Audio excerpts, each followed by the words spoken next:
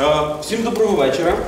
Е, Дякуємо, що прийшли, дякуємо за ваш час. Е, Ми будуємо зазвичай такі наші зустрічі наступним чином. Це така вільна прес-конференція. І будуємо в двох форматах на, ваш вибір. Або ми говоримо правду матку от, е, з іменами і прізвищами, і, і це off the record. Або, е, якщо вам хочеться якоїсь там якихось смажених фактів, от, або ми говоримо під, під запис, і, і тоді вже е, трошки не, не так глибоко будемо занурюватися в якісь деталі. От, але я так думаю, що просто камери вже включені, то це питання знялося само собою. От. Тоді друга історія полягає в тому, що е, у нас е, доктор Лінчевський, заступник міністра охорони здоров'я, скільки ти маєш часу? До шостої. До шостої. До шостої. 40 То- хвилин. То е, ми можемо побудувати е, наступним чином. Тобі три хвилини на враження з консультації і з зустрічі в університеті, а далі просто вже перейдемо до, до питань відповідей по, по реформі, а потім перейдемо з таким самим принципом уже по, відпустимо. та, по відпустимо Сашка на, на поїзд. І я буду модерувати е, цю всю штуку. Я граю роль поганого поліцейського, тому прошу дуже Сашко. А, а тут журналісти, так? Так. А скажіть, будь ласка, тут лікарі теж є чи тільки журналісти? Є лікарі, так? Печаль яка. Тобто це мікс. Добре. Да, тут есть вот, э, це представники з е, гігієни праці. Університетська клініка. Клініка виконуючий обов'язки лікаря Мельник Олег Григорович. Журнал охорона праці, колишній спікер. Друзі, таке діло. От як тільки я піду, вони почнуть говорити про гроші. І я не розумію чого. Я розумію чого, але вони все одно почнуть говорити про гроші. Пороблено в цій медицині. Як тільки кажеш зміни, там, реформи, ще щось, всі кажуть, а гроші, більше грошей. Приїжджаєш кудись, як, як у міністерство, а дайте гроші, дайте машини, дайте ще щось, але все одно дайте гроші. Так наче ну от нічого іншого в медицині, крім грошей, не існує. Та в житті нічого іншого не існує. Ну, власне. Заради чого ми живемо? От. Ем, Тому е, ми би хотіли, тобто у мене хороша роль в міністерстві, ну, принаймні така більш-менш медична. Я кажу про якість, а не про гроші. Е, Традиційно радянське таке, щойно йшли, згадували Радянський Союз, ті реалії. Традиційно радянське. Угу, в селі такому-то нема лікаря. Значить, ай-яй-яй, біда, значить, треба що зробити? Правильно, побудувати медичний вуз. Лучше прямо в тому селі побудувати, щоб прямо там от звідти студентів випускати. Значить, в області там якась, давайте якусь таку подалі звідси візьмемо. Якій області немає без будуть ще? Ми не були Сумська. О, в Сумській, точно, в Сумській області. В Сумській області немає е, медичного університету, а в селах відповідно немає лікарів. Значить, треба Сумський медичний університет. Класно. Національний. Е, Створили національний, взагалі міжнародний медичний Сумський університет. Супер. Він буде випускати багато лікарів. І по кожному лікарю запхнемо в кожне село, щоб в кожному селі був лікар. І оцей кількісний дурацький радянський підхід, щоб от воно нібито як. А потім звіт дуже гарний. Вся Сумщина забезпечена лікарями. Класно звучить, класно. От ми випускаємо лікарів, яке державне замовлення. В кожне село порахували кількість сіл, стільки то замовили, ще плюс там 10%, опа, випустили. Супер, в кожному селі є по лікарі. Правда, вони потім звідти знову тікають. Вони тікають з тих сіл, знову немає лікарів в селах Сумщини, треба збільшити державне замовлення. І на сьогодні доходить до того, тобто сьогодні е, на 19-й рік прогнозують е, державне замовлення е, чи там дефіцит кадрів в охороні здоров'я України е, 18,5 тисяч. Це рівно стільки, скільки випускає вся система охорони здоров'я Сполучених Штатів. От воно На до- трошки більш Україна. Ага. Тобто, от воно до такого абсурду доходить. А наявність лікаря в селі, тобто знову ж таки переймаються сам фактом наявності. Лікар є, диплом є, угу, є в селі, і лікар, все, всі щасливі. Про якість ні слова. Як вчився той лікар? А, як, він, як він вчився в інституті? Як він вчився в інтернатурі? Скількох пацієнтів він бачив? Скільки книжок він прочитав? Хто його вчив? Ніхто ніколи в житті в Радянському Союзі тим не переймався. Нам тільки треба було, щоб на там, таку-то тисячу людей був один лікар. Прекрасно. Так можна в кожному під'їзді, тобто в кожному будинку, в кожному під'їзді мати по лікарі про медичному пункту, щоб взагалі показники були чудові. А якість від того ніяка абсолютно. Є чотири стіни, е, якась хата в селі, є там лікар, який би він не був мотивований, який би він не був хороший. Він є з фонендоскопом і він каже, ой, я нічого не можу, вам треба на район. А, потім, тобто, скільки він, скільки він пацієнтів бачить за рік? Яка у нього є практика? Ніякої. От, відповідно, він нічого не може. Відповідно, там через 2-3 роки він взагалі всіх відправляє на район. От, і потім сам починає заробляти картоплею або ж косовицею. Чим-небудь таким. І ми з тим боремося. Ми не з тим боремося, ми за якість боремося. І ми кажемо, що нас цікавить, власне, е, щоб допомога медична давалася неформально, щоб медична допомога була дійсно медичною і дійсно допомагала. Ну а для цього нам треба адекватне навчання. Це насправді ключова складова реформи, просто вона не дуже ну, відчутна, її не можна потрогати. Але лікарів треба вчити інакше. Якщо ми хочемо американського лікаря, якщо ми хочемо європейського лікаря, давайте його по-європейськи вчити.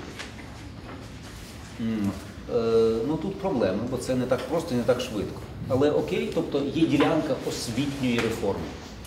І те, що ми робимо вже, ми вже е, пробуємо встановити мінімальний прохідний бал для вступників медичних вузів. Бо на сьогодні в медвуз набагато простіше вступити, ніж будь-який інший. В медвуз, да, в медвуз приймають з ЗНО там 120 балів, 110. На контракт платиш гроші, тебе беруть, хто би ти не був. Як би ти не вчився в школі, тебе беруть, аби, аби платити. І все, він потім на контракті вчиться, вчиться, вчиться. І після випуску е, ця людина, той, хто вчився на контракті, у нього є вільний диплом, і він стає нейрохірургом. Та без проблем чому? Бо він платить гроші і за інтернатуру, і потім за місце. Супер класно. От потім ми дивуємося, ой, у нас погані результати, ой, нічого не виходить. Але воно справді закладається ще, е, тобто, так, дійсно, в Німеччину зробили сільські вчителі, а не, а не академії. Там чи не що. А не кайзери. Ну, не, не кайзер, тим більше. От, е, то такое. От, отже, ми встановлюємо мінімальний прохідний бал. Е, в медичному вузі треба, щоб вчилися краще. І нам байдуже контрактник чи бюджетник. Ми також встановлюємо, ми робимо е, випускний іспит, додаємо туди так звані американські питання, блок американських питань. Е, Чому так? Медицина є міжнародною. Тобто і в Америці, і в Європі вона кругом є однаковою. Кругом люди однаково хворіють, однаково помирають. Не існує спеціальних українських хвороб. А відповідно, тобто, якщо сьогоднішні стандарти лікування є такими в усьому світі, український студент, український лікар має їх знати. І ми вже це зробили, тобто вже в березні перший екзамен з американськими тестами вже відбувся. І ми вже там попередні результати ну, починаємо відчувати, починаємо підраховувати і бачити, як українські студенти, як випускники, це українські інтерни, лікарі-інтерни, як вони справляються з американськими завданнями. Хріново справляються. Ем, Отже, це освітній блок, ну плюс ще кілька речей, які будуть відчутні трошки пізніше, які, які якщо буде цікаво, то ми про них поговоримо. Це величезний освітній блок. Друге, маємо лікаря, ну і так само після дипломного освіту, зараз, тобто не зупиняючись, краще ми потім поговоримо про те, що вам буде дійсно цікаво. Е, власне, робочий блок. Е, є документи, тобто є підручники, є, є всякі там бумажки, за якими лікар працює. Згідно сьогоднішніх, е, сьогоднішнього законодавства теперішнього, е, такими є ну, так звані протоколи лікування. Тут упс, про що ми говорили в медінституті. На сьогодні топ-10 препаратів, які призначаються в Україні, і топ-10 препаратів, які призначаються в Європі, не співпадають по жодному пункту. По жодному. Тому вина і жахлива наша освіта. Ми віримо в ту єрунду, яку ми призначаємо пацієнтам. І іноді це призначаємо щиро, а іноді не щиро. А іноді за якийсь відкат, а іноді за. ну, А іноді український протокол, тобто український документ, який вимагає від лікаря того чи іншого лікування, туди вже записаний завідомо неправильний препарат. І з цими протоколами треба боротися, і ми з ними успішно боремося. Е, хто нам заважає? Сюрприз, Академія наук. Упс. А вони кажуть, ні, ми теж розумні. Нам не треба.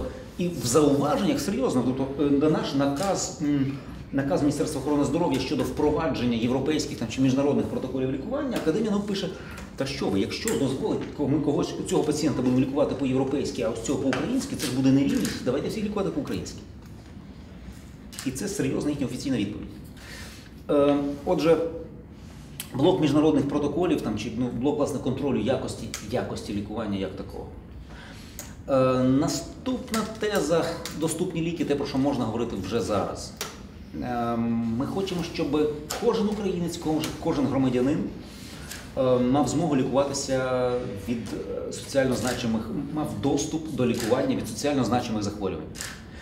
Е, Такими страшними захворюваннями є серцево-судинні, ну всі ці там стенокардії, інфаркти, інсульти, гіпертонічна хвороба, тобто найбільший вбивця на сьогодні, тобто цивілізаційна хвороба. Це діабет другого типу, це бронхіальна астма. Від цих хвороб за рецептом кожен українець в аптеці може отримати безкоштовно е, необхідні йому ліки. Затверджений перелік препаратів. Е, Потихеньку громади, хтось швидше, хтось повільніше, але потихеньку аптеки включаються, включають ці препарати. Держава аптекам відшкодовує. Тепер кожна бабка, кожен бомж з вокзалу може прийти до лікаря, отримати рецепт, з рецептом піти в аптеку, отримати безкоштовний препарат. Крапка. На Харківщині вже сьогодні, хто вранці були, то ваш начальник облздрава сказав, що 30 мільйонів субвенцій виділено. 35. Я- 57 найменувальників. Так, і десь там скільки пару десятків аптек уже Вона сказала 76, 74 чи 73. Дуже добре. Лікування має бути доступним. Окей, тобто ви вам хочеться лікуватися чимось суперфірмовим, ви доплачуєте різницю. Але не може статися так, що українець не лікується через відсутність грошей. Кожному українцю серцево-судинні захворювання, діабет і астма мають лікувати, будуть лікуватися безкоштовно. Все зроблено. Від міністерства все залежне ми зробили. Тепер задача громади контролювати, долучати аптеки ну, от, і вимагати реалізації. Десь хтось гальмує, десь комусь це не дуже подобається, десь хтось може щось там втрачає, ну так чи інакше. Бо ну, тепер велике питання, чи е, ну, як, як на цьому, тобто чому цим може бути хтось незадоволений, ми поговоримо, якщо вам буде цікаво. Е, що четверте, я хотів вам розповісти, таке цікавий, цікавий блок. І це вже останнє, бо їм щось треба питання. Ага, так ні, власне, прямо зараз я Так, власне, чи- чи- чекайте, четверте і останнє щось цікаве, я хотів казати. Просто- А, ну і всякі ці гроші за пацієнтом я лишу Олександрові, бо це знову ж таки там, де гроші, там я не хочу говорити. От, ем, якість лікування складається з якості освіти, е, з якісних вимог до лікування і до якісного забезпечення. Ми можемо трішечки торкнутися госпітальних округів, таких, які всіх болять, але теж будемо впиратися в якість. Тому що наявність, як сьогодні хтось із студентів просив, казав, що ой-ой-ой, значить, треба, щоб піти зробити операцію, треба їхати за 100 кілометрів. Так, треба поїхати за 100 кілометрів, зробити якісну операцію якісними руками і через два дні повернутися назад, а не поїхати за 20 кілометрів Через і померти. дорогу. А не перейти через дорогу і там померти. Якось так. І коли приїжджаєш там в таке-то, е, такий-то райцентр Вінницької області і заходиш не до голови департаменту, а заходиш в операційну, і у анестезіолога каже, що покажи журнал операції, жур- операційний журнал за рік. Він тобі показує. І руцями, не на звіті, а руцями рахуєш операції сам. І бачиш, що районна лікарня, велика районна лікарня, там дев'ятиповерхова, робить за рік 100 операцій, буквально. А там хірургічне відділення, 7 хірургів роблять 100 операцій. А з цих 100 операцій 40 є грижі, тобто планові операції, які можна оперувати взагалі будь-де. А з них 60, котрі лишилися, 30 є апендицит. Ще питання, чи він там є. І лише 30 втручань є дійсно невідкладні, пов'язані з травмою, непрохідністю, перфорацією виразки тощо. Навіть якщо їх в принципі є 100, то ми маємо хірурга, їх є семеро, котрий робить 15 операцій на рік. Хірург, котрий робить одну операцію на місяць. Ви точно хочете у нього оперуватися? Хтось ще щось має проти створення госпітальних округів? А тепер ваші питання. Прошу. Дякую. Дуже правильно поставило питання про якість освіти. але і якість е, надання послуг. Але чи може, скажімо, ми говорити про якість, коли у нас е, так занепадає культура надання медичних послуг? Да? Тобто, по суті справи, те питання якості, воно залежить від рівня розвитку медичної культури. Тобто, чому, скажімо, ніхто не говорить про підвищення якості культури в медичній сфері? Тобто це стосується як гігієни, так і екології, так і ще якихось речей. Тобто, в принципі, правильно ставите про якість, але е, коли люди з медичним досвідом, з практикою думають, як їм зараз емігрувати чи в Польщу, чи в Угорщину, чи в Словаччину, чи ще кудись далі за кордон, бо в них немає місця роботи, їм немає де працювати. А, Чи тим самим ми покращуємо нашу якість надання медичних послуг, чи не покращуємо? Е, Я думаю, що треба ставити питання так, щоб воно дійсно мало якісне вирішення. Питання ну, підвищення культури. культури. Це культура відносин між людьми. Тобто, по суті, свої ті ж самі корупційні питання, це теж питання культури. Ті ж самі плацебо, котрі видаються за ліки, це теж питання культури.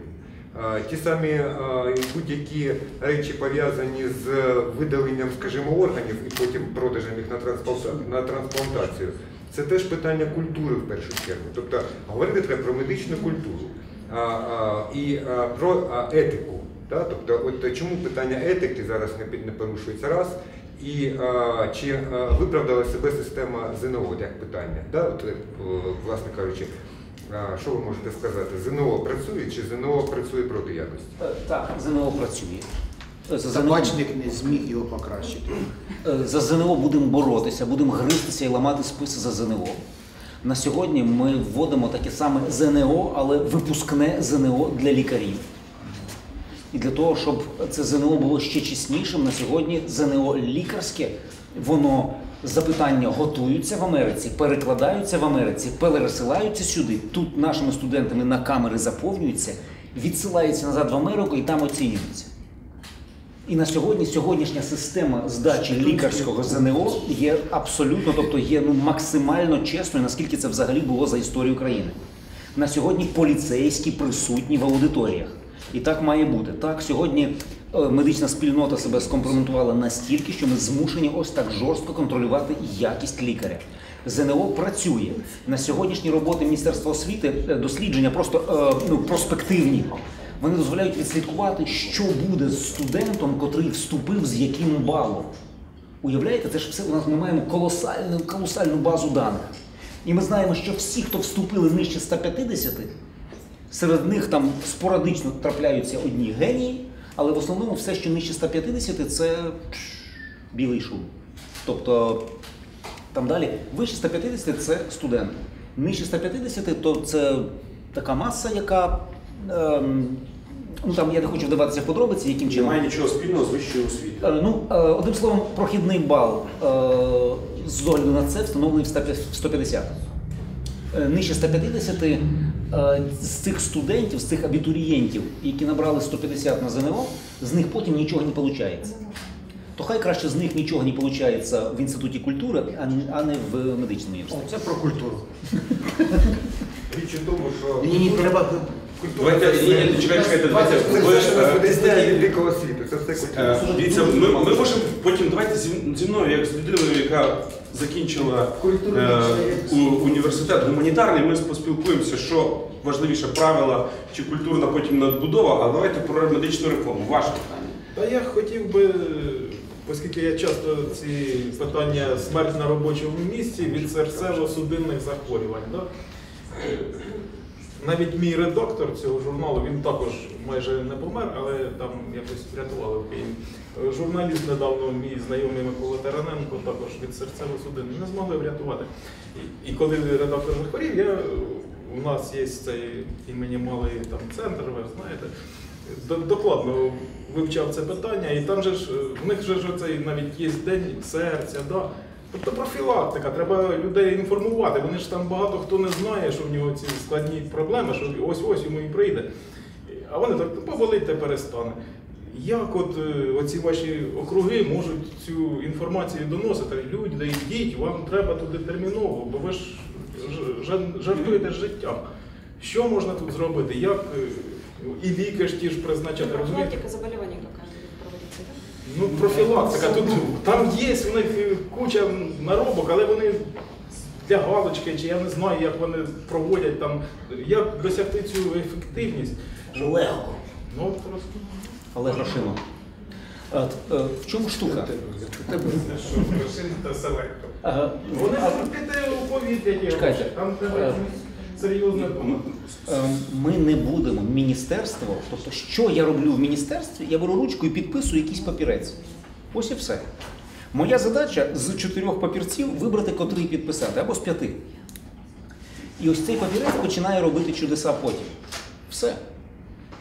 Той папірець, котрий підписаний тепер, він розподіляє пацієнтів в довільний спосіб на вибір пацієнта. Пацієнт вибирає собі лікаря. А лікар кровно зацікавлений, грошима зацікавлений, щоб його обрав пацієнт. І щоб подовше пожив і більше платив. Ага. І щоб ще й сусідів своїх позвав. Більше того, штука в чому? Лікар буде отримувати гроші за здорового пацієнта, так само, як і за хворого. Якщо лікар не буде дбати про профілактику, якщо лікар не буде дбати про те, щоб цей пацієнт не хворів і не буде йому розповідати, пацієнт буде ходити з болячками, його діставати, діставати, діставати. А лікар хоче спати, це природньо. Відповідно. Розумієте, там багато такого є, що якось раптово люди помирають. І вони, от треба їх чи масово скринінг. ще казав, що чоловік внезапно смерть.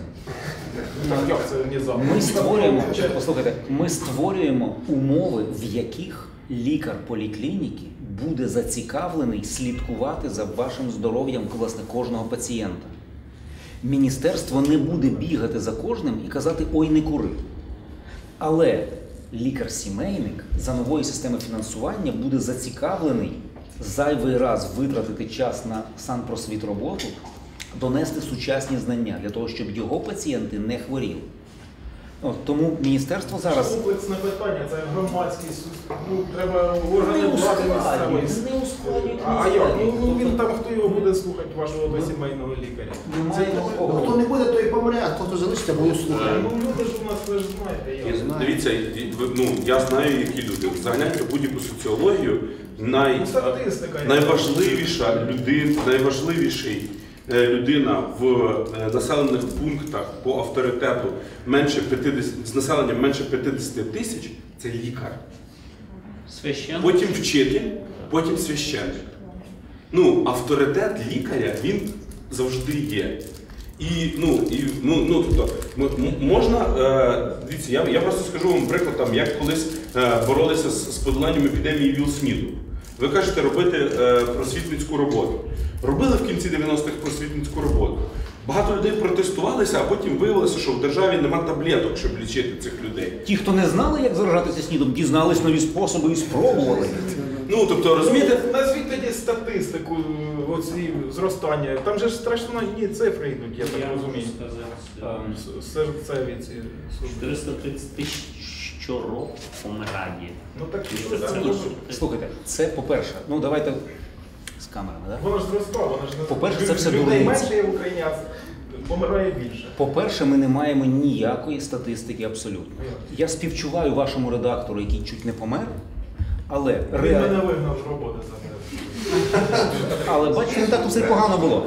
А, Але реальної статистики смерті від серцево-судинних захворювань немає. І це знають всі. От. І тому е, на сьогодні статистику департамент пише таку, яку просить міністерство, от, е, або таку, як вони писали раніше, тільки плюс-мінус скільки то відсотків. параметрах там Абсолютно, щоб ви не сумнівалися. Вся статистика пишеться зі стелі. Всі знають, що від інфарктів помирають 14%, від серцево-судинних 67%. От, і плюс-мінус додають. Тому статистики не існує чесної. І не питайте мене ніколи цифри статистики, вона вся брехлива до останньої цифри. Вона висосана з пальця. Ми це прекрасно знаємо, як воно все пишеться. Тому немає статистики. По-друге, міністерство не лікує людину, міністерство лікує систему. Ми створимо умови адекватного навчання майбутніх лікарів і адекватного стимулювання адекватних лікарів на роботі. От, оце наш спосіб боротьби. Ми не будемо за вами бігати, щоб ви кинули, щоб ви перестали курити. От, не будемо ми цього робити. А от лікар сімейник буде. Прошу. Прошу. Меня интересует вопрос лицензирования. Будет ли какая-то система, когда врачи будут получать лицензии, и как э, врач может лишиться этой лицензии? Е, Так. На сьогодні не безінтересно вам буде дізнатися, що на сьогодні ліцензію на роботу отримує заклад, а не лікар. Я вам відріжу не ту ногу, але ви подаватися будете проти лікарні. І що ви з лікарнею зробите? Якщо я був тверезий і відрізав вам не ту ногу, ви мені нічого не зробите. Да, в лікарні так вийшло, переплутав. Врачебна ошибка. Упс. Тобто досі так є. Досі е, це, це ще Ілліч придумав, е, в смысле не Леонід, а Владимир Ілліч придумав. Щоб воно як в колгоспі е, селяни доїли спільно доїли спільних корів, е, так само, щоб лікарі працювали, тобто спільно як такий собі колгосп. От так не має бути. Кожен повинен боротися за свої знання. Ну, і лікарня, відповідно, потім зацікавлена буде брати найкращих лікарів. Лікарня для того, щоб до неї йшли пацієнти, буде зацікавлена включитися в нормальні природні, природні е, способи шляхи відбору. Е, першими, першим кроком ми відміняємо так звані категорії, відмінимо категорії на первинній ланці, категорії сімейним лікарям, тому що їхня зарплата буде залежати від кількості пацієнтів, а не від кількості там стажу. Молодий, але успішний, цікавий, уважний, люблячий лікар буде заробляти більше, ніж такий же там з 30-літнім стажем. Який там балбес, який там п'яний, який неуважний і, і до якого не хочуть ходити. Тому е, категорії будуть відмінені. Зараз ми розробляємо ліцензійні критерії для лікаря-сімейника в першу чергу. Е, хірурги там і всяка вторинка, третинка і спеціалісти, е, їх торкнеться це пізніше. Зараз ми відпрацюємо ліцензійні критерії, тобто які курси після дипломної освіти, які години, якої практики має, має відбути лікар-сімейник для того, щоб раз на 4 роки там, чи раз на 5 років підтвердити свою ліцензію. Ну так, таке ліцензування буде. Прошу.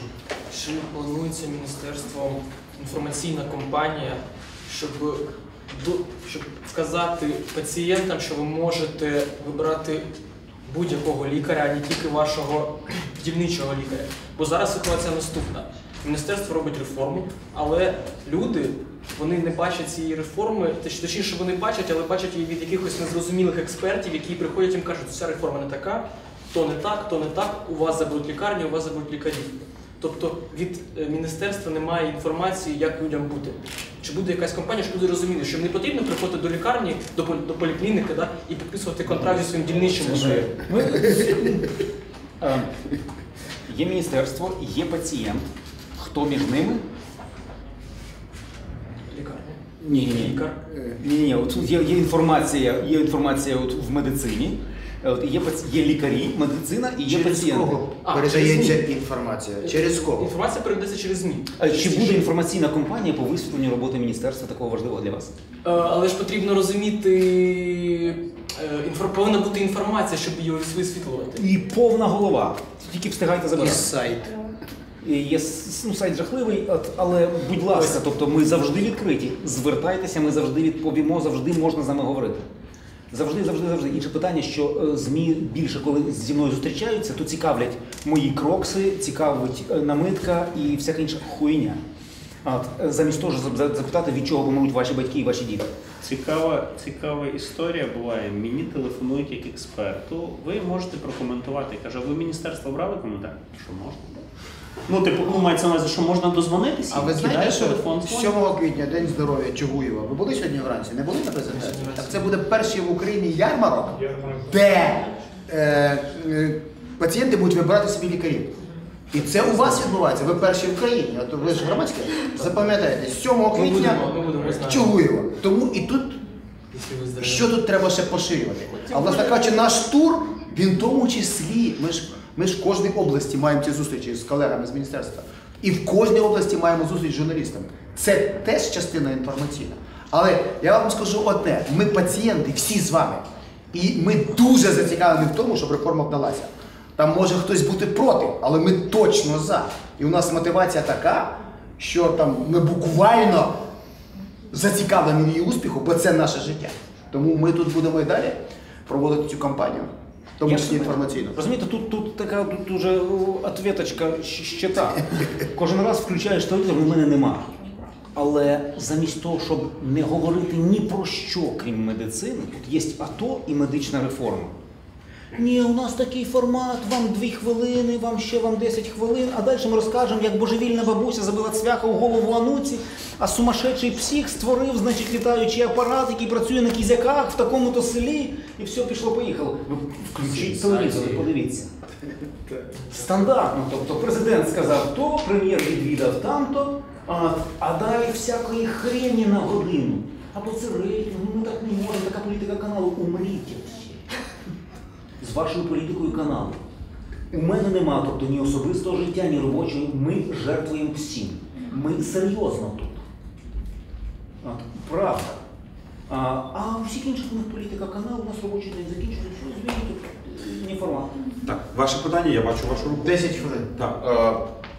А, У меня два вопроса. Какой пакет услуг будут оказывать семейные врачи и будет ли в этот пакет услуг входить анализы, УЗИ, вот все эти исследования? Это раз. И кто будет заниматься э, там, прививками, вопросом борь- борьбы с эпидемиями, например? Профілактика. Да, ну профилактика, условно говоря, ну Дякую, класно, подію. Е, значить, дивіться, яка штука. Ми знаємо, тобто я як е, частинка, яка відповідає за якість, е, я відкидаю все те радянське і кажу, е, в світі на сьогодні пацієнту на, в поліклініці треба зробити і далі перелік. Перелік обстежень і перелік е, лікування. Е, Ми дивимося, тобто, як воно мало би бути. Ми беремо найкращі європейські протоколи лікування на первинці. Протоколи обстеження, протоколи лікування. Ви приходите з якоюсь хворобою, у вас болить ось тут. Ми беремо протокол для болить ось тут, Перевірений на німцях, французах. і за цим протоколом болить ось тут. Вам призначаємо такі. так- Ми знаємо, що вам би в Німеччині призначили отакі, отакі, отакі, отакі аналізи. А далі отаке, отаке, отаке лікування, залежно від результатів. Ми далі, як держава, дивимось з цих аналізів, що ми можемо собі дозволити, і проводимо таку червону риску. Станом на 2017 рік ми можемо собі дозволити ось це. Там, ну, по мірі важливості. Ось це ми гарантуємо, ось це просимо доплатити. Так само з лікуванням. Ось це ми гарантуємо, так як з серцево-судинними, з діабетом з астмою. Ось це ми гарантуємо, за ось це треба доплатити. Ем, Стосовно вибору пакету, обов'язкового пакету послуг на первинній ланці, для нас є важливим також ну, певна логічність. Е, Скажімо, цілий ряд обсте... цілий ряд аналізів, які не мають медичного сенсу, які раніше були звичними, ми їх відміняємо, ми їх не включаємо в пакет. Але ті важливі, іноді навіть дорогі, які значимі для пацієнта і які лікарю сімейнику дозволятимуть приймати рішення, ми їх в цей пакет включаємо. Тобто ми, ну це вже дуже дуже специфічне таке, я не знаю наскільки воно цікаве, і я можу вдаватися, бо це моє. Я про це люблю говорити. Ще, ще два питання. Окей. Е, Тому, з одного боку, ми дивимося, що ми собі можемо дозволити, але в цьому, що ми собі можемо дозволити, ми керуємося не просто, які аналізи в принципі є дешевими, а які мають сенс. Е, Те, що стосується там найпоширеніших серцево-судинних захворювань, там є така штука. Е, Звичайні аналізи крові, сечі, там я не знаю, там якісь там рентгени, ще щось, вони не є потрібними. Ми їх всім призначаємо, там всі там флюшку проходять там кожен рік, аналізи крові, там сечі, там уролог там дивиться. А це все не впливає на кінцевий результат. Разом з тим, аналіз крові на холестерин, там на ліпопротеїди такої то щільності впливає. Він дозволяє рано своєчасно виявити проблему і своєчасно лікувати.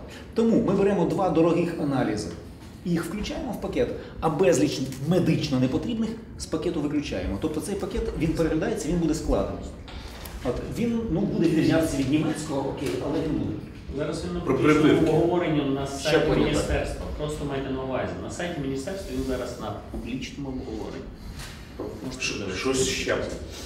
Е, Щеплення, так, е, їх треба робити. а хто їх буде робити? Ем, Перше, вони є. Е, Друге, їх сімейний лікар або педіатр на них направлятиме або їх робитиме. Щеплення це первинка. Ми трохи спрощуємо там умови до е, кабінету щеплень, тобто насправді щеплення можна робити де завгодно. От, і ну, будемо робити їх доступніше. Ваше питання. Так, Вакцини не будуть лікарі купувати з власної кишені, бо і таке чув. Ні, не закуповується централізовано, власне, ну є це надії, що окей. В мене продовження питання, продовження теми інформаці... інформаційного ну, супроводу. Скажіть, е, взагалі якась планується кампанія на державному рівні? Тому що ви самі сказали, що хай вони всі помруть своєю політикою, так, редакційною. От.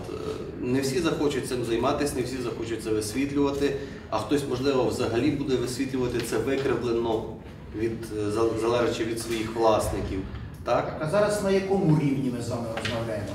Ні, чи це, скажімо, можливо, це Це будуть... шестимісячна кампанія. Шість місяців ми по всій Україні разом їздимо.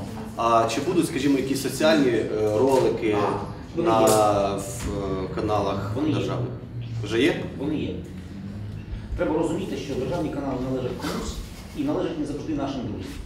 І належать іноді тим людям, які трохи страждають від цієї реформи. Тому Втрачають. Е, Так.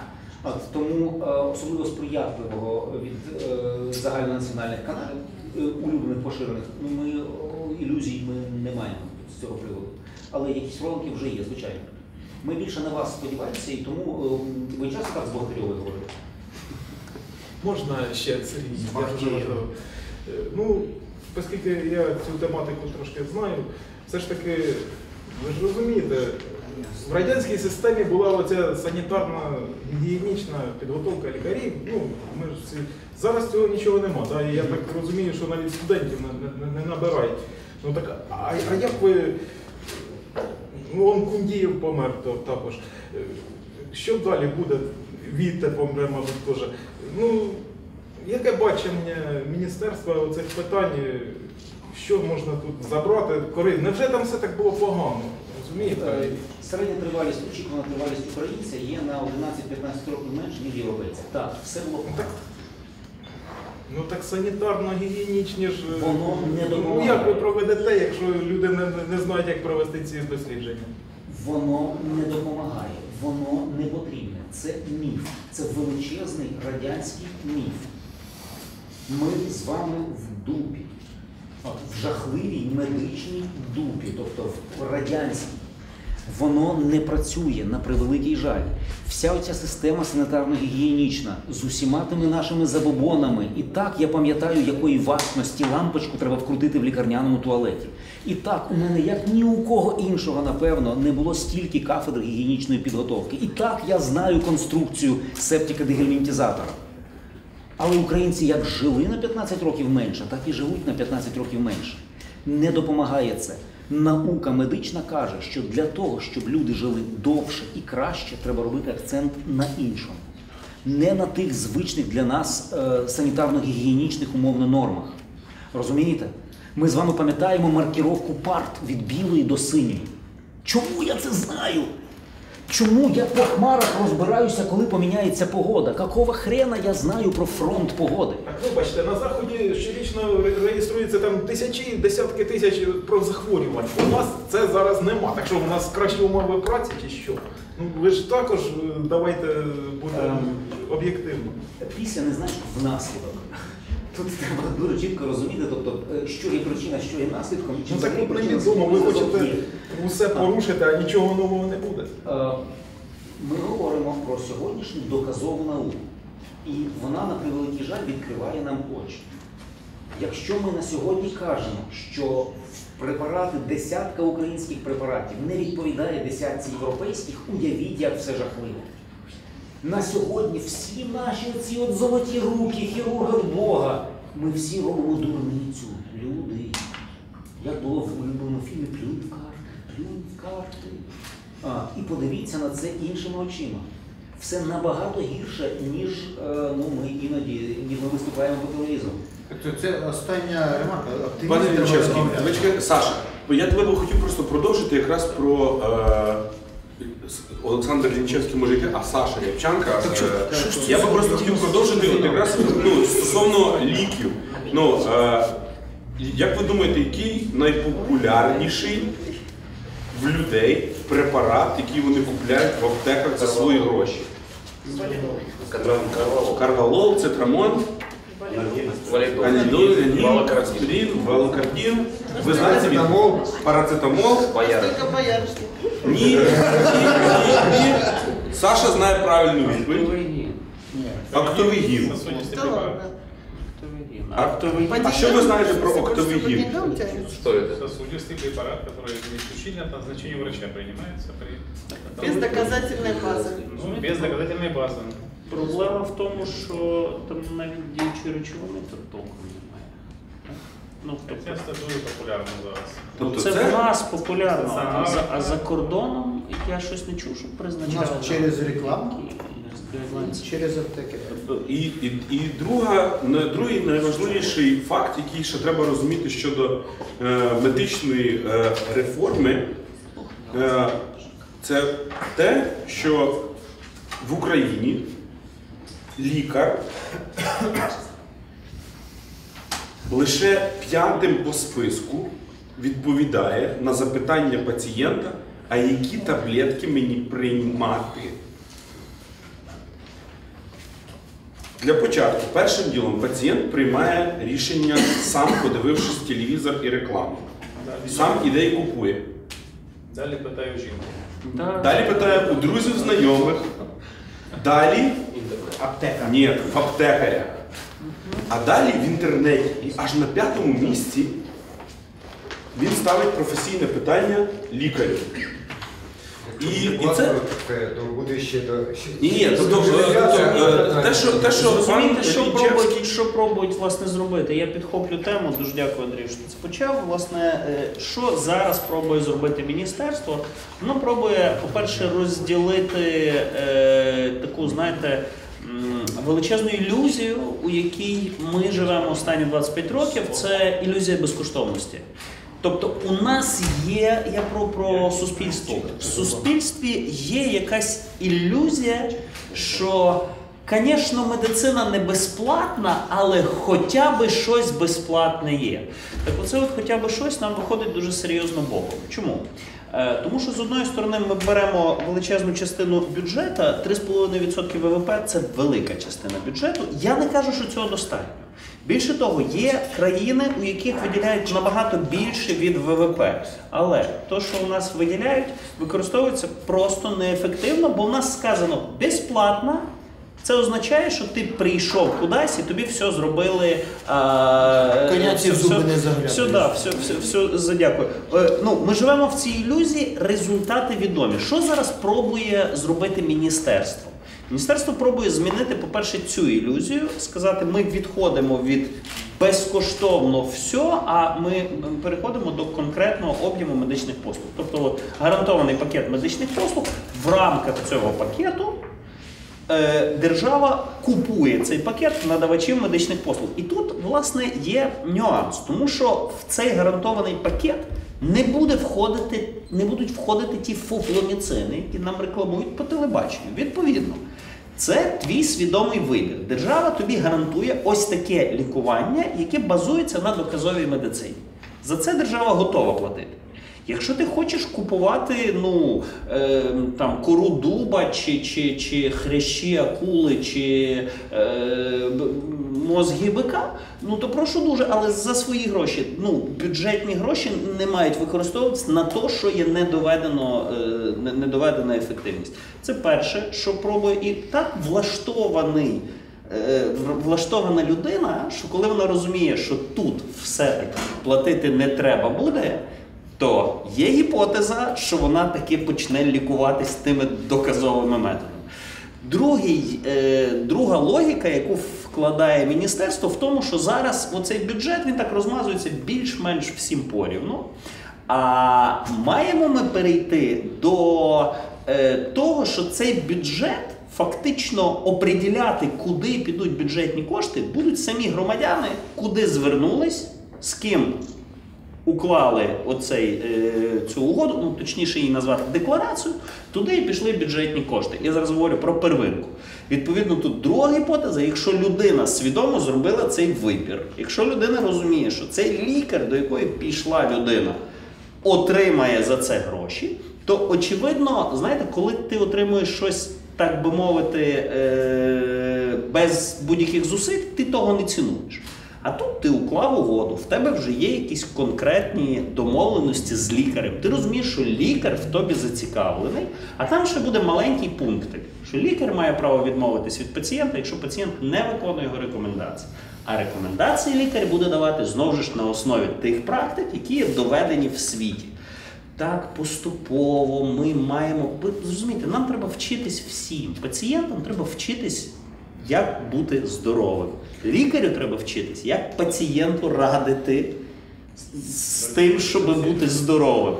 Це процес тривалий. Так, і, треба і починати. це процес тривалий, він почнеться, будемо надіятися, в, з голосування в парламенті, і там є якраз свої, свої серйозні ризики, тому що е, фактично ми, як виборці, ми І як делегу- пацієнти. і як пацієнти, ми делегували повноваження розробки і ухвалення державної політики е, дуже сильному різношорстному набору людей, які працюють достатньо сильно непрогнозовано. І я би якраз тут хотів перекинути місточок до, до того, а як нам отримати підзвітну владу, як нам отримати тих, хто буде відстоювати, спікулуватися про наші інтереси, розробляти державну політику е, в кінці кінців. Е, Тому прошу, Олег Борисович, the floor is Ну yours. насправді от багато тих речей, про які ви говорили, це е, ми громадська організація. Я там, в попередньому житті займав там певні державні посади, і для мене стало очевидно зрозумілим, що якщо ми хочемо успішних змін, то так не можна робити, як ми звикли. Там виходить Янукович 36 реформ, той ще виходить ще якихось 30 реформ. Кількість законопроєктів у нас така, що нас в Європі називають е, те, що займається Верховна Рада, називається, вона видає тонни законотворчого сміття. 8700. Так. Е, найбільша в світі кількість. Наприклад, в Канаді е, один депутат може за всю каденцію один законопроект розробити, тому що там важливо, що ти хочеш змінити і як ти це якісно робиш. І нам треба цю вакханалію якось зупиняти. І ми прийшли до висновку в громадській організації після Євромайдану років півтора тому, що у нас вибір у громадськості. Ми можемо моніторити, факт, факт-чекінгати, watchdogнити, раундтейблити, флешмобити. Ну, тобто ні на що не впливати на процес. Або нам потрібно показати, як треба робити, щоб був результат. І іншого в світі немає, ніж те, що ми зараз робимо з міністерством. І міністерство якраз випало нашим партнерам, тому що команда міністерства, яка прийшла, вони не просто погодились, ми разом з ними починали ці публічні консультації в Києві з усіма, усіма ключовими сторонами. І вони можуть нас бурчати. Деякі заступники нас дуже не люблять. Але і заступники, і міністр приїжджають в кожний обласний центр.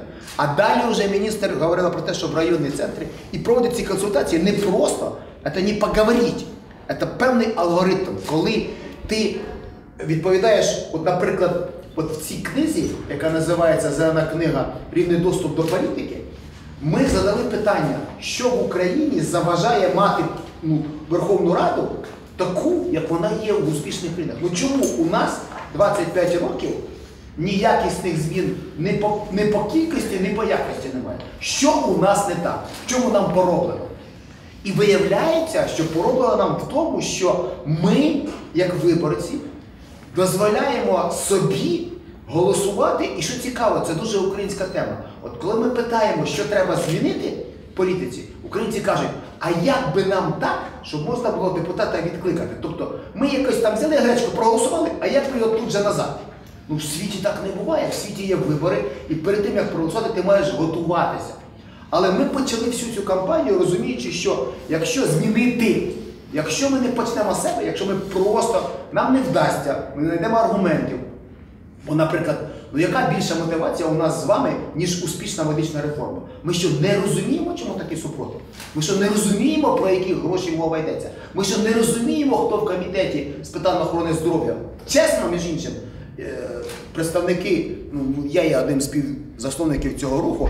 Ми проаналізували роботу комітету з питань охорони здоров'я. Зайдіть там в інтернет, подивіться, ми проаналізували, хто з яким бізнесом пов'язаний. Най, один із найлінивіших комітетів в парламенті. За рік вони там якихось три вимучених. Ні, не за рік. За три роки вони, по-моєму, три законопроекти. І то не їхній видалена гора. Це просто жахливо. І це питання нашої з вами, нашої з вами перспективи. І тому ми почали ось цю кампанію. Ми об'їжджаємо всю країну, ми будемо у всіх обласних центрах. Ми у кожній області пройдемо три дні. Завтра ми поїдемо там в один районний центр, інший. Хоча по-хорошому, щоб знайти розуміння, треба проводити мінімум 10 днів в кожній області міністерству чи хто відповідає за комунікації, бо ви правильне питання кажете. Але знову зараз це вперше відбувається. І якщо ми хочемо цих Але, змін, але це інше питання, просто ви кажете, Для нас важливо. що це має бути кампанія від міністерства. А чому ну, Ні, це ні. питання не має бути до керівника облздоров'я? Я тільки, тільки хотів перейти до того, що якщо ми хочемо, ми розуміємо, що, наприклад, вони можуть як пропідалі, да, не можуть просто пропедалити це питання у, у Верховній Раді, то ми до цього готуємося. Ми працюємо з комітетом, ми залишаємо, беремо контакти із усіма медіа, якими ми говоримо. Ми говоримо, слухайте, що якщо всі наші думки і всі наші там очікування від реформи будуть просто ігноруватися Верховною Радою, то нам не потрібно мовчати. А цей вираз почую кожного має стати реальністю. В якій формі? У формі листів на комітет, у формі листів до своїх депутатів, до, до мажоритарників, у формі кампанії, яку ви можете на місцях розгорнути, тому що це насправді у нас не кожен день будуть голосуватися закони, які безпосередньо нас з вами стосуються. І це вже питання до нас. Якщо Румунія зараз має мільйонні демонстрації проти корупції, то напевне в Румунії влада, яка прийшла до влади, вона ж хотіла розгорнути цю, цю, цей тренд. Вони хотіли просто помножити на нуль антикорупційні закони. Якщо ми з вами там е, зараз не виходимо мільйонами, вимагаючи антикорупційного суду, бо бачимо, як корупціонери не попадають до відповідальності, то це питання більше до нас, ніж до депутатів. Я вам скажу одне, що ми ще такої чутливої до наших настроїв влади не мали. Вона дуже уважно слідкує за медіа, за тим, що відбувається в інтернеті, лічно з президентом во главі Петром Олексєєвичем. Ми бачимо, ви- не вела випадки, коли навіть наша фейсбучна кампанія зупиняла дуже одіозні речі. Навіть коли відомі лідери громадських думок і блогери починають говорити, зверніть увагу, вночі президент виступив проти того, щоб українці платили за підключення до газу. Де газ, де президент, я не знаю. Але це точно реакція на те, що людей реально дістало. Тепер у нас з вами питання одне: що якщо ми хочемо, щоб вони реагували, то ми маємо точно знати, що є важливо, і маємо дуже точно і е, спільно діяти, щоб е, нашу реакцію можна було зрозуміти. І тому ми у кожній, у кожній області ми залишаємо зворотні координати. В тому числі журналісти, ми будемо мати зустріч е, з, з бізнесом обов'язково, зі студентами, з різними лідерами громадських думок з однією метою, що якщо ми хочемо змін, нам треба ці зусилля просто об'єднувати. Інакше ми, тобто влада робить те, що ми їй дозволяємо робити. Якщо ми це ковтаємо, ну чого б ні? Якщо ми не реагуємо на відверті відверте небажання на нинішньої судової системи притягти корупціонерів до відповідальності, бо немає антикорупційного суду, а це є зобов'язання наше з вами, нашої влади перед Європейським Союзом. Ну то вона цього не буде робити. Тепер наш виклик, як нам знайти головні речі, тому що у нас все болить. У нас одночасно все болить, і це най- ну, варіант розпорошуватися. Е, можете тут з великої літери писати. Якщо ми з вами розпорошуємося, то очевидно влада зможе наші оці е, е, ем- інформаційні чи емоційні кампанії просто ігнорувати. Якщо ми реально роздраконені і ми чогось вимагаємо, і якщо все це розуміється і Так якщо ми підтримується. не спеціалісти, що ми можемо вимагати? Е, Що ви можете вимагати, чого ви не спеціалісти? От уявимо собі, що у Верховній Раді зараз ці закони не приймаються. Які закони? Ви знаєте, які треба закони? Звичайно. Ми знаємо. ви знаєте? Це ж люди, вони експертні групи працюють три роки вже. Так я щось не розумію, як можуть експерти порушити те, що було, працювало і так. А, про- а що було? І що працювало? Та ні, воно погано працювало. Я не кажу, що воно гарно. Ну, це нічого не буде. Це- Ну, Ну це, це від цього, що було, яку страну потеряє, ну від вас це просто дивно чути просто. Ну я десь не не може нічого нового. Як нічого нового Що те, що робиться зараз в Україні, це було? Погано було. Чекайте, концепція. Ні, ні, я просто е, ну мені просто цікаво. Концепція реформи Я бачу фінансування. От, от цю, яку прийняв уряд наприкінці минулого року, Ну тобто, от зміни з е, гарантований пакет, гроші за пацієнта. Концепція Що реформи ліки закупаються так. міжнародними компаніями, а не сотня посередників, кожен який накручують ціну. Ну, тобто, е, Так Мусій каже, що ви дорожче тепер стали. Мусії каже, бо він в долі. Мусії каже, от рух чесно проаналізував бізнес мусія. Читайте, ви слухайте, у вас же голова для того, щоб ви там щось аналізували. Ті, хто зараз, кому ви на яйця наступили, ті більше всього і верещать. І мусій один із тих людей, який дуже жорстко зав'язаний на фармобізнес. Я- і я таких просто- я- мусіїв дуже багато. в нас. Олег Борисович, просто дивіться, і, і історія яка? В Україні фармацевтичний ринок того всього, що продається в аптеках, трошки більше півмільярда гривень. Трошки більше півмільярда гривень. А тепер ділимо. 50 мільярдів. Ні, а 50 мільярдів, так. П'ять- е, перепрошую, 50 мільярдів. І історія яка? Що третина цих ліків, які продаються в аптечній мережі у нас, вони які? Вони не мають діючої речовини взагалі. Не лікують. Не лікують нічого. А третина не використовується ніде в Європі. Ну, я, я трошки уточню. А ті, хто використовується, втричі дорожче, ніж в Європі. Тобто ви, ви повинні розуміти, що існує кілька здоровенних фармацевтичних компаній, які там на Борщагівці знаходяться чи на Дарниці. Немає різниці. Це є бізнес, який ціка- зацікавлений в тому, щоб продати вам побільше таблеток. Можна туди не сипати діючу речовину, так навіть дешевше. Просто кришите ну, крейду або цеглу. Кришите, фасуєте, продаєте в аптеку. Ну і так є зараз. Ми всі дружно скидаємося ну, на це, Я не купляючи думаю, що кошти. там борщагівка робить тут погоду.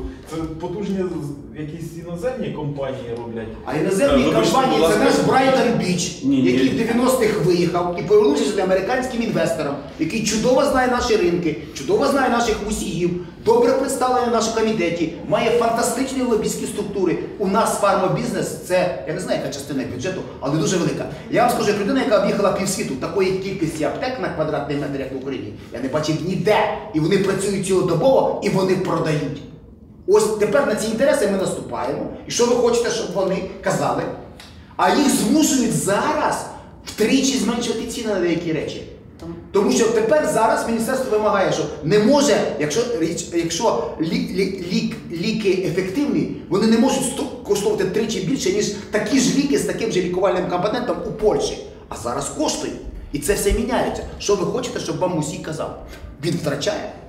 І не він один. Так його треба до кримінальної, я не знаю. Це потім. Сталінська модель це потім. Е, я е, бачу ваша рука, так. Я, я, я вам потім зараз передам. Ну, Я хотів повернутися до питання ось цього пакету медицинських послуг. Я наскільки пам'ятаю, він обмежений конкретною сумою, так? А все, що після неї, має бути платне. Чи я Я уточню, зараз він не обмежений сумою. Зараз він є обмежений просто переліком того, що лікар первинки. Зараз ми говоримо про гарантований пакет на первинці. Весь гарантований пакет поки що обрахувати неможливо, тому Але що він нас буде. нема звичайно. Він має з'явитись до кінця 2018 року, якщо ця система запрацює вже цього року. Більше того, якщо Верховна Рада не прийме ці законопроекти, то система імовірно не запрацює ще 5 років. Я поясню чому. Тому що якщо ми не попадемо в цей бюджетний рік, як ви знаєте, в нас по півроку бюджетний, так? Е, Якщо приймають ці законопроекти, то ми первинку можемо почати реорганізовувати вже цього року з другого півріччя. Якщо ми не попадаємо в це друге півріччя, все переноситься з 1 січня 2018 року в кращому випадку. 1 січня 2018 року у нас починається 18 рік, який може стати передвиборчим роком. А тепер уявіть собі, яка під е, передвиборчим, так, я маю на увазі перед президентськими. А тепер уявіть собі, яка політична партія, яка політична сила піде, буде входити з Виборчий медичною цикл. реформою в виборчий цикл. Тому до чого я веду, що зараз на, на Верховній Раді в питанні системи охорони здоров'я ну просто надключова їхня роль. Тепер що входить в гарантований пакет цього року? Це ну, тобто е, гарантований пакет на первинці. Це перелік того, що перв... які послуги первинка буде надавати. Оцей лікар первинного контакту буде надавати громадянину після того, як громадянин укладе з ним ось цю от декларацію. Власне, він зараз є на публічному обговоренні на сайті міністерства. Можете зайти і залишити свій е, з того приводу відгук, тому що вони це все моніторять. Тобто вони працюють не лише на інформуванні, я про міністерство, а вони ще й питають зворотній зв'язок, власне, чому ж ми їздимо. Ну, це звичайно величезний тест буде для спроможності громадських організацій, зокрема ті, що в Києві, щоб в Верховній Раді прийшли там не, не, не, не, не, не одні активісти, а щоб це питання прозвучало. І це величезне питання, тому що в Україні втрачений зв'язок. Зверніть увагу, коли в Україні був який-небудь загальнонаціональний страйк, ви пам'ятаєте? Щось загальнонаціональне. Шахтарі робили. Шахтарі колись там касками стукали, але немає жодної політичної сили і громадськості. є. Хоча питання може бути болюче для всіх. У нас питання довіри, спроможності і розуміння. Але тут без перебільшення відкат медичної реформи, в якому зацікавлені купа людей, колишніх міністрів і, і, і власників фармобізнесу і лобістів. Це ну цілий прошарок адміністративних, всяких там спецлікарень, ми з ними зіткаємося майже в кожному місті, всякі там Укрзалізниці, СБУ, там енергоатом і все інше. Це, це колосальна сила. Це люди, які є що втрачати. І вони не жаліють аргументів. І вони свою інформаційну кампанію проводять так, що ти просто дивуєшся. І їм є що втрачати. Це з одного боку. А з іншого боку, ми. І ми розуміємо, що якщо цю реформу зараз надрубати, то це ну, ми випадаємо, я не знаю наскільки. На, на, на, на, на роки ми випадаємо, поки наступного разу хтось з'явиться такий. Ми можемо собі таке дозволити. Це для нас колосальний тест. Нам є що говорити. Питання повторююсь, довіри, спроможності, але просто щоб ви розуміли, ми з вами, як журналісти, говоримо, що більш важливого голосування у Верховній Раді не буде ще довго.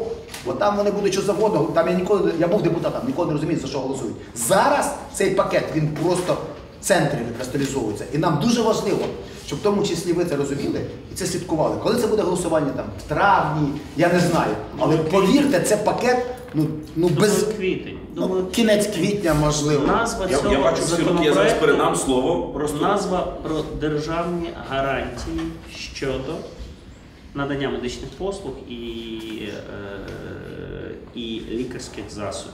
Ось. Щодо забез... державний гарантований пакет. е, ну, Ні, щодо державних фінансових е, е, законопроект щодо державних фінансових гарантій щодо надання медичних послуг і лікарських засобів. Дивіться, просто я бачу всі руки. Зараз я всім слово надам. Але оскільки маю таку функцію поганого поліцейського, я просто хочу, оскільки у нас є оця ниточка е, по мусію, який просто міг би бути ще Усі ми пишемо з маленької літери і розуміємо, що їх там багато. 450 депутатів. Просто це яскравий приклад того, що є е, людина, яка в якій делеговані функції е, розробки і ухвалення законодавчих актів. Обраний мусій на мажоритарному окрузі в Львівській області, в Соколі Червонограді. От. До сьогоднішнього дня він є, е, в- представляє блок Петра Порошенка, працює в комітеті. Ні, він вийшов з БПП. Е, е, Так, вийшов з БПП, е, в- працює в комітеті е, з охорони здоров'я, але е, історія яка? Пан Мусій не подав жодного законопроекту, який став законом. Хоча він дуже багато говорить про медичну реформу. І це нас повертає до, до теми того, а як нам до іншої другої теми нашої сьогоднішньої зустрічі, Олег Борисович, я наголошую, як нам обрати тих, хто буде виробляти для нас державну політику. Тому що історія, коли в, е, в парламенті 200, е, потрібно 26 голосів за якийсь важливий закон, а депутатів нема на робочих місцях. Е, от, коли е, в зал заносяться 5 паралельних законопроєктів, ніхто не знає яких, по 20 правок з голосу, бюджети приймаються в 5 ночі. І це все насправді всі, всі ці це все ознаки проблем, які коріняться реально у виборчій системі, яку ми маємо, яка нам дає можливість е, такого державного безпреділу. Олег Борисович, я вам даю буквально 4 хвилинки, Дивіться, щоб ми- розказати про цю книжку, а потім ми- ми вернемося до питань. Ми розробили ось таку товсту книжку. Так? У вас вона є у всіх в меншому вигляді. Ми зробили е, вижимку з цієї книжки про доступ до, до, до політики, де ми в Києві і вже в 10 областях запитуємо українців. Там є, якщо розгорнути цю меншу книжку, там є зеленим кольором виділені ось. Бачите, оце є менше, а це ще менше. Просто навіть як не цікаво, нам нас попросили студенти а- а- академії лідерства, чи не могли б ми робити це як, як комікси, знаєте? Що молодь і та потребує вже просто абсолютно рафінованої інформації. І ми е, задали, просто виділили проблеми, які українці вважають, вирішення яких може змінити якісну політику. І те питання, яке більше всього знаходить підтримку, ми виділили зеленим. Бачите, тут є десь, наприклад, там, проблема. Чинна виборча система на парламентських виборах е, закладає корупційний ризик. Рішення запровадити пропорційну систему з відкритими регіональними списками з голосуванням у багатомандатних округах. Розумна дуже фраза. Суть цієї фрази така, що якщо ми хочемо, щоб місця в списках не продавалися, і щоб не партай Геноса, не лідер партії вирішував Бо якщо він знає, що він заводить парламент 15 людей, то ну спокуса продати 5 місць дуже велика, бо це від 5 іноді до 10 мільйонів доларів. І податки з цього не платяться. І це величезний бізнес. Ти ніколи чесно так не заробиш. І це страшенно корумпує нашу систему. І це дозволяє 25 років нічого не міняти. Якщо ми не, не, не заберемо цю можливість у партійних бонзів, коли виборець буде вирішувати, хто на якому місці буде, партія просто презентує там умовно 100 кандидатів. Виборець голосує за партію і голосує за представника партії, наприклад, на Харківщині. І тоді це виборець буде вирішувати, хто буде перший, а хто буде сотий. Переважна більшість українців це підтримує. Далі ми маємо інші питання з такими ж варіантами відповідей. Що ми збираємось робити? Як ми маємо цю Верховну Раду, яка абсолютно налаштована не міняти нічого? Вона ж не тільки ЦВК вже три роки не міняються. Ви розмови про дочасні вибори ми чуємо, ну ми з ними живемо, правильно? Причому настрій Верховної Ради, і про це відверто казав нам Парубій, коли ми зустрічалися з ним у вузькому колі обмежених людей. Він говорив про те, що ну, настрою в залі немає. БПП, вказівка президента, жорстко нічого не міняти. Народний фронт, ну його взагалі немає. Там батьківщина, е, ну щоб Юля відмовилася від партійного бізнесу, це щось в світі має здохнути одночасно, як динозаври. Тобто, насправді Ляшко, come on, хто? Трохи самопоміч. Можливо, це та політична сила, яка ну, це публічно піднімає на прапор. Ну, напевне, все. Парламентських сил, бажання парламентського немає. Про це говорять відверто наші там, як каже Володимир Володимирович, западні партнери. І американці, і Європейський Союз це чудово розуміють. Тепер перед нами виклик, що ми маємо зробити, щоб Верховна Рада е, змінила законодавство. Ми маємо робити те, що ми робимо. Ми об'їжджаємо країну всюди. Говоримо з усіма. Приблизно переважна більшість, я не кажу 100%, переважна більшість українців розуміє, про що є мова. У нас е, в нашій команді полісі аналітики вони нотують всі ці консультації, і ми просто як в мене є от папуга Жако. Якби я собою возив би, цей папуга вже проводив би бесіди, він би вже запам'ятав фрази, питання і відповіді, які ми задаємо, тому що ми однотипно кожній аудиторії задаємо одне і те ж. А як ви вважаєте, що має бути зроблено? Тепер ми повернемось десь, десь всередині літа, коли Верховна Рада. 28 А? червня ми закінчуємо. От восьмого червня, ну я пер- перше, перше, там, перше сьоме собі десь внутрішньо поставив.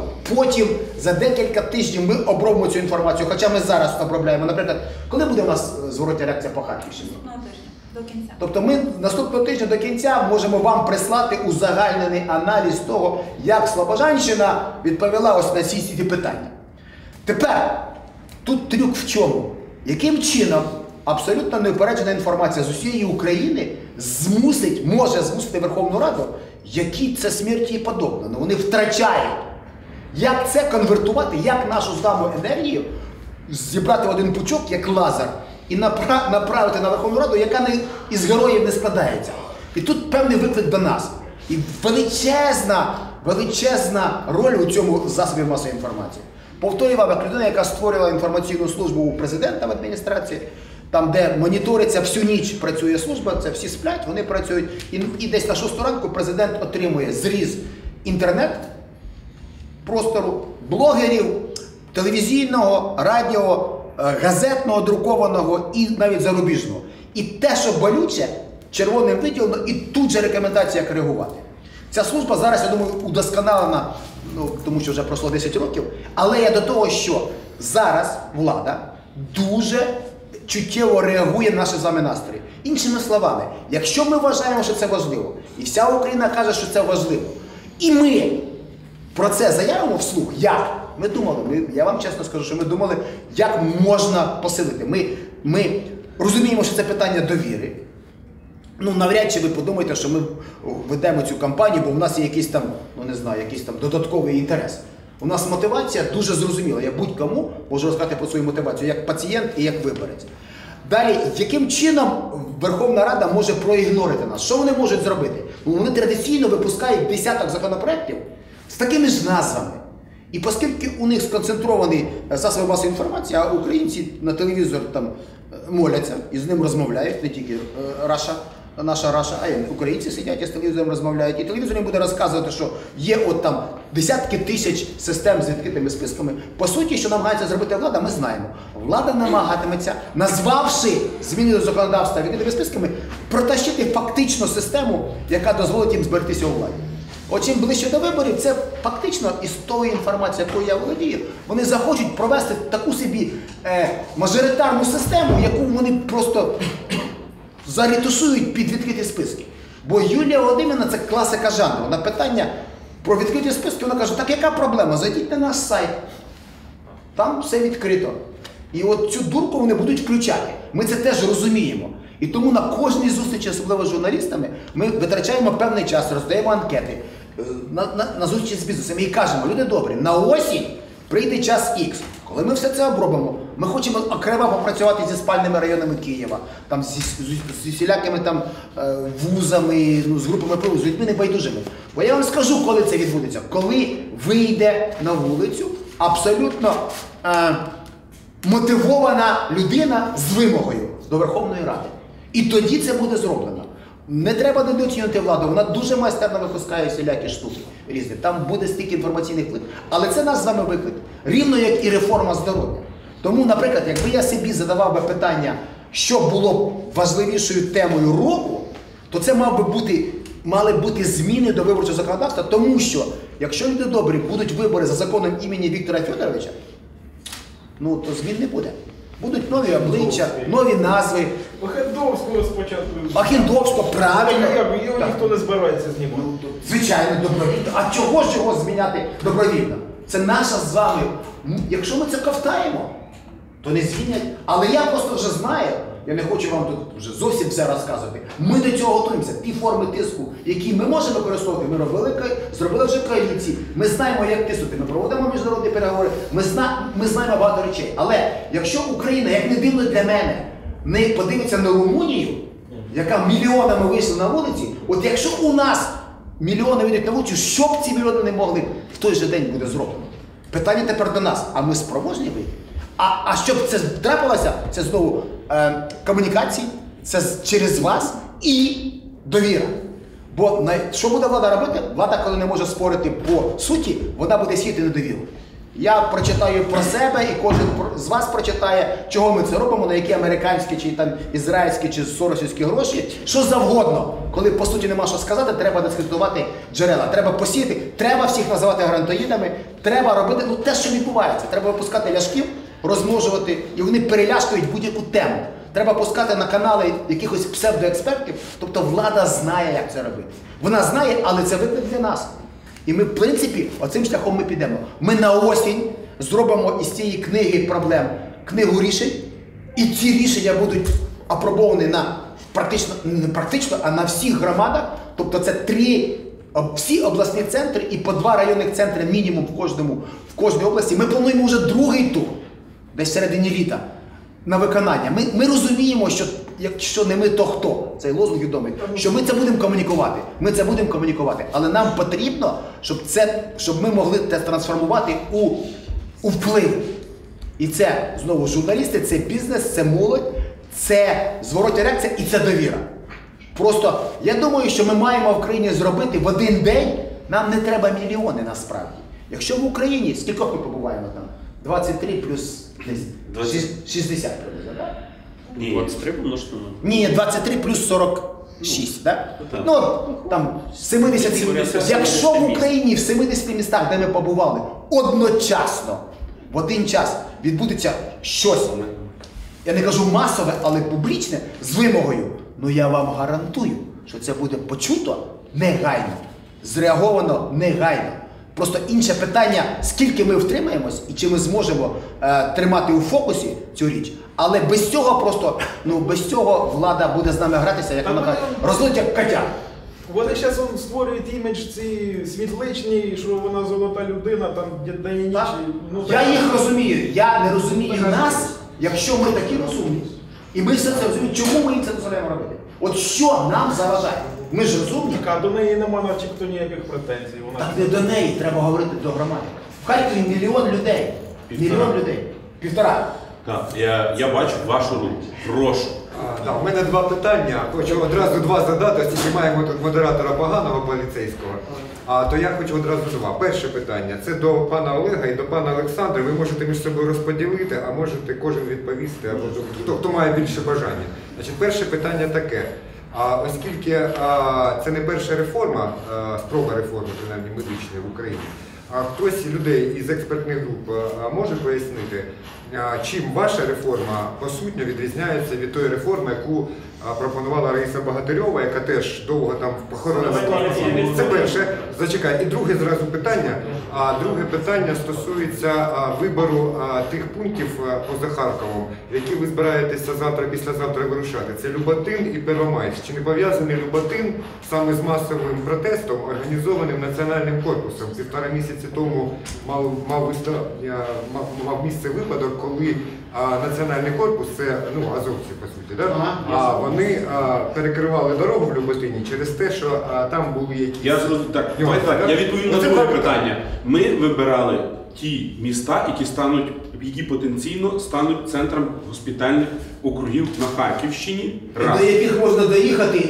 І до яких можна доїхати не- за з вісім годин. Один день, один назад. При тому або стануть, або не стануть, це ж рішення органів місцевого самоврядування, тобто це рішення ваше. Ми просто, ми просто прикидували, куди ми можемо доїхати і що потенційно, яке місто може стати тим центром. І плюс бажання місцевої влади. Бо, наприклад, деякі Правда. мери там, Ні, сюди не їдьте. Так. А А, тепер перше, так. ну це Е, святе.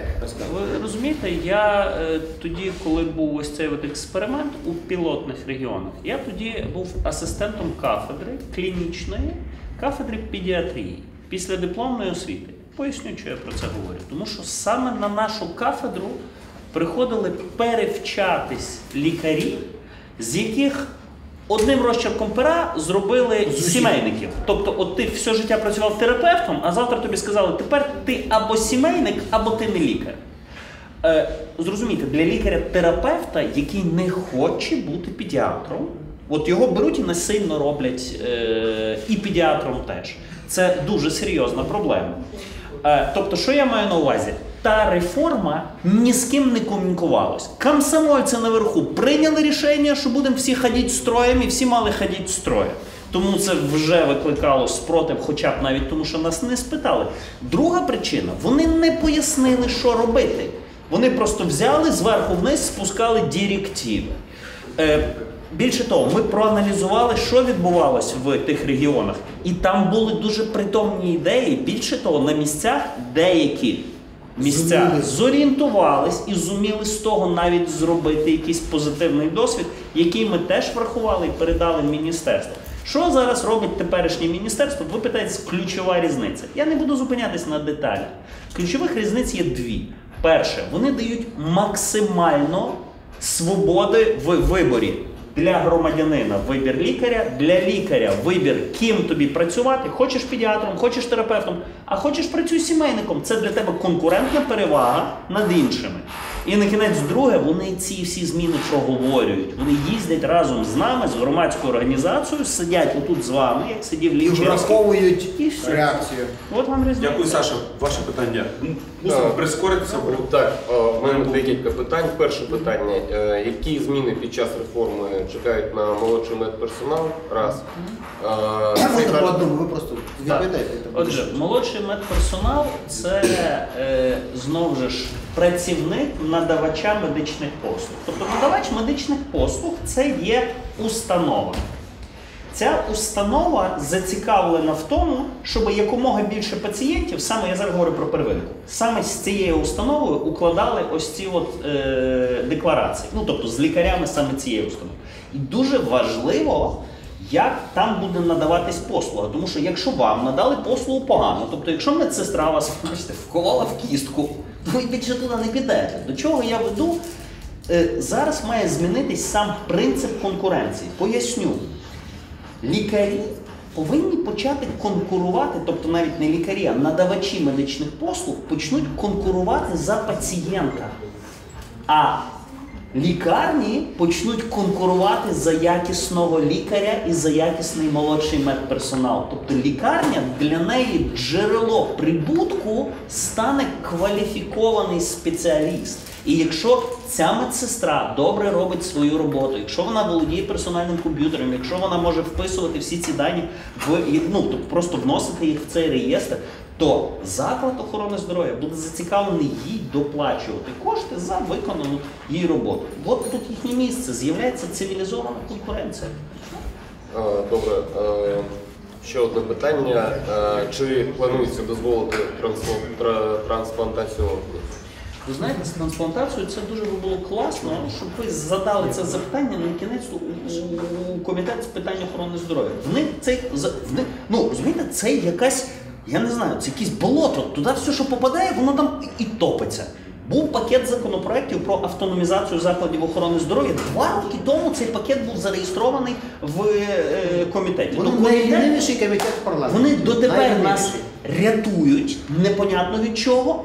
Вони нас рятували від злочинної приватизації. В кінцевому рахунку у нас знову два роки нічого не відбувалося. Та сама історія з законопроектами про трансплантацію. Вони тільки говорять про неї.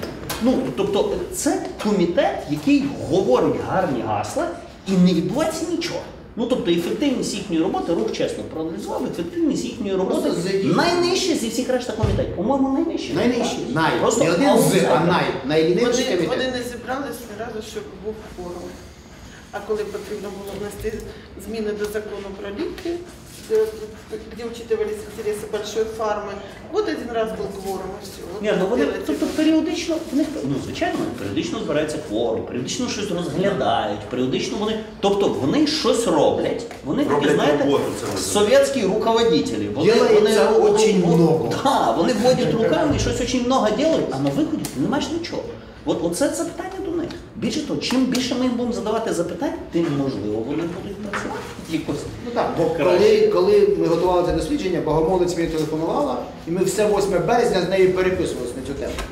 Колеги, я, я ні, ні, мушу далі грати слово поліцейського. У нас зараз буде три хвилини, включена кава машина. І вже в особистому порядку підходите до людини, до якої вам треба поставити запитання з диктофоном, чи це Сашко, чи це Олег Борисович, і просто його ставити, тому що нам треба збиратися. Ну тобто шанс поставити запитання ще є, і у вас теж. От, але ми мусимо, якби. І дуже дуже дякую всім.